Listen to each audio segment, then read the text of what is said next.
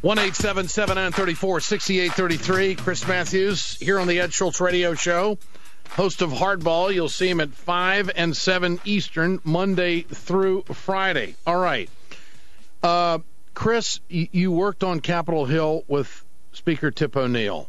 He did deals with Reagan how could they do them then and not do them now? What, well, what, what's, what's different? I think it's important to remember what the deal was. It wasn't just a 50-50 deal. What happened was Reagan was trying to cut Social Security. He was going all around the edges of it, cutting the COLAs, raising the retirement age for early retirement, every trick in the book.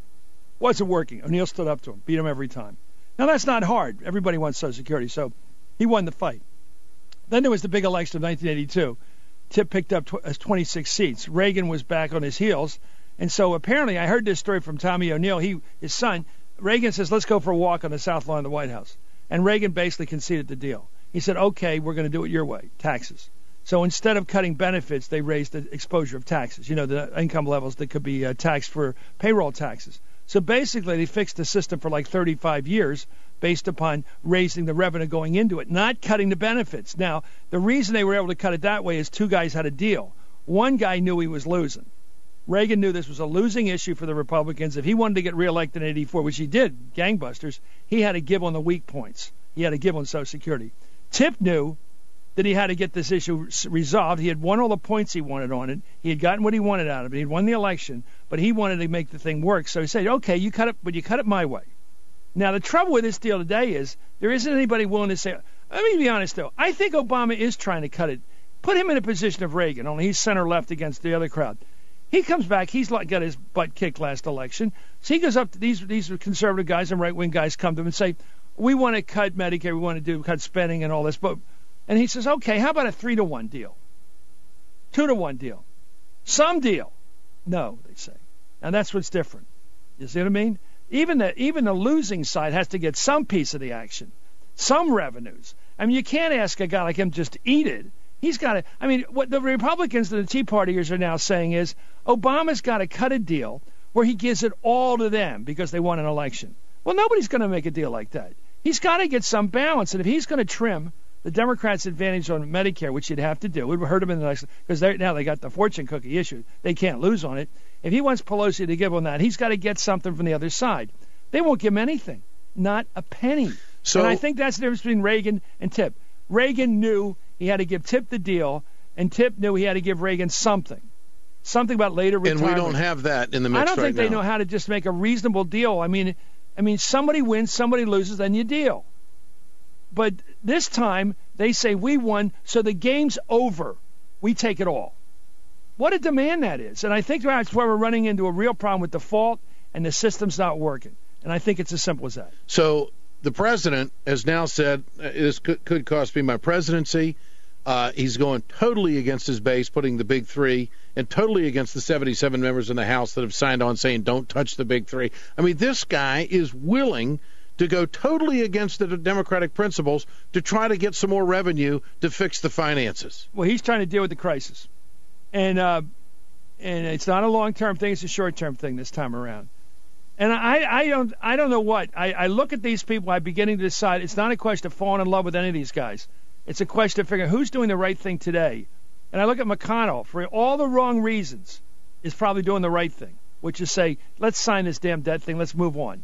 Because what he wants to do is beat Obama next time. He wants him to take responsibility. He, he's it. willing to fight another day. He wants to blame it on him, let him take the hit. And in a way, maybe Obama's willing to take that deal, the president. I know the president so, doesn't want a, a crisis. Here's what I'd like to believe I'd like to believe all these guys looked at it this way the country first, the party second, me personally third.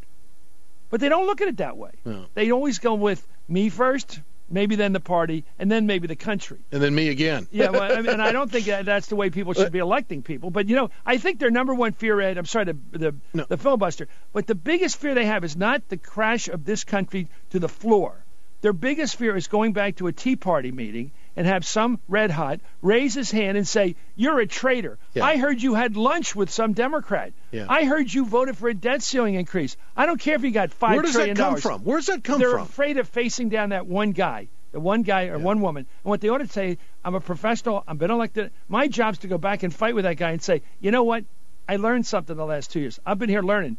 The best deal for the country is what I just did And that's what I just decided. The best deal for progressives or conservatives, whatever you are, is what I just did. But they're afraid of that guy. They're afraid of that guy raising the hell with and, and, and this is what's amazing to me. Uh, I was saying this on the tube last night. You have a Democratic president who's willing to put the big three on the table. That's been the big enchilada for the right wing for years to chip away at these entitlements, and they still won't go after it and give just a little bit of revenue to the Treasury. Well, that's why they're fools. Why? Because they're fools. Because this is the chance. This is their opportunity. And I think Boehner I mean, knows I that. mean, I, I think mean, I oh, think I mean I think McCain knows that. I think McConnell knows that. Uh, the guys have been around 20, 30 years, know what a good deal looks like.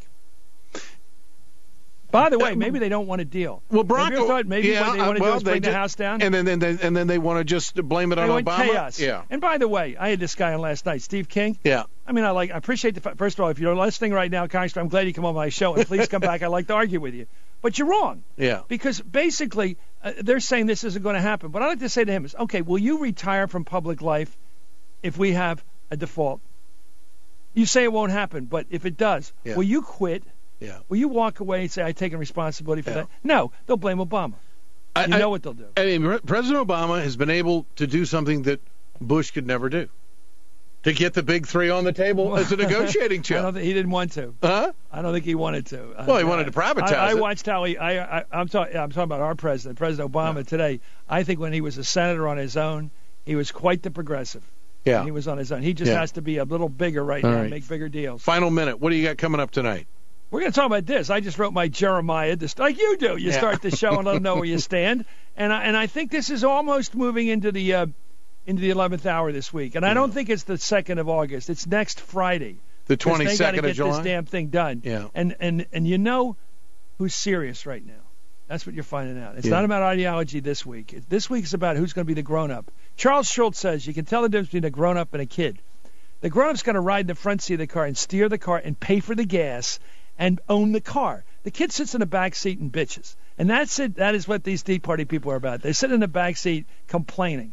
Chris Matthews. Not like host, us, Ed. Host of Hardball, never, of MS, MSNBC. Great to have you with us, Chris. I appreciate your great time. show. Thank you. So do you. And it's great to, uh, to hear you with us here on the program today. Your calls, comments, so much more coming up here where America comes to talk. The Ed Schultz Show. Stay with us.